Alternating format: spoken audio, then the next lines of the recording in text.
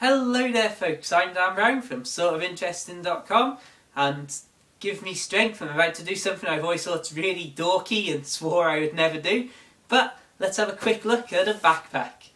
Now if there's one thing that can be said about me, it is that I have got a backpack with me all the time. I mean, if you've seen any of my other videos you might know that I'm out and about on me bike and walking and up to general mischief quite a lot of the time.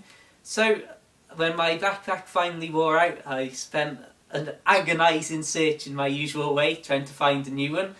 And ultimately, I settled for the Berghaus 24-7 25 litre backpack. Now, first off, let's take a look at the outside. First things first, it seems to be made from a nice solid durable material, so no complaints there so far. Uh, you've got your walking pole attaches on each side. The clips seem nice and solid, but easy enough to open should you want to. Something that seems a little better than on previous bags I've had are the water bottle pockets on each side that seem to actually be the full depth of a bottle rather than how I've found a lot of bags to be having them sticking out halfway.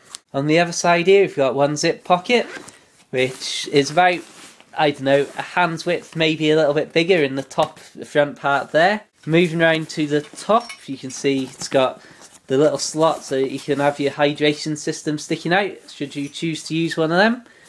The straps are nice and wide, um, padded but not really filled with a crazy amount of padding but they all seem comfortable enough when I'm wearing it. Something I am impressed with is the little strap that goes from one shoulder strap to the other to keep it nice and tight and I find that when I'm on my bike it does stop the bag bouncing up and down on me back quite a lot which is just what I've been looking for. Let's take a look inside. Got a double zip to the main pocket. It's only one main pocket in this, not like other bags with maybe two or three smaller pockets.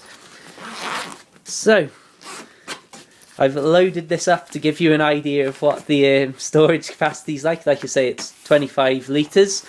So, first of all, pair of shoes and a nice little fleece and woolly jumper and there's plenty more room to fit more stuff in.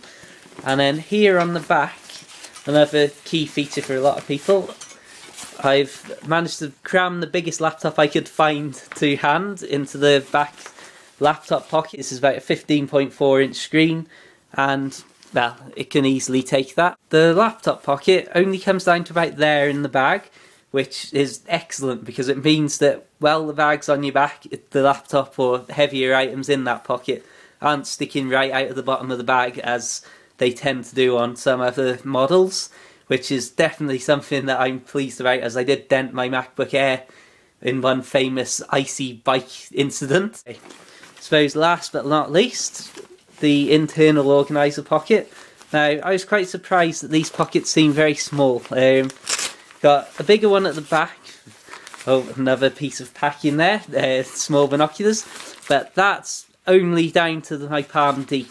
So it's not huge. And then equally, these two other pockets are maybe big enough for a mobile phone or an MP3 player, something like that. So, yeah, there you have it, I suppose. Um, I am very impressed. This does meet my needs exactly, so I'm all happy. Like I say, it seems all pretty good quality and nice, uh, durable materials. Uh, yeah, that's the 24-7, 25 litre backpack. Check out sortofinteresting.com for more, and I hope that this wasn't as nerdy as I think it is. So, see you around.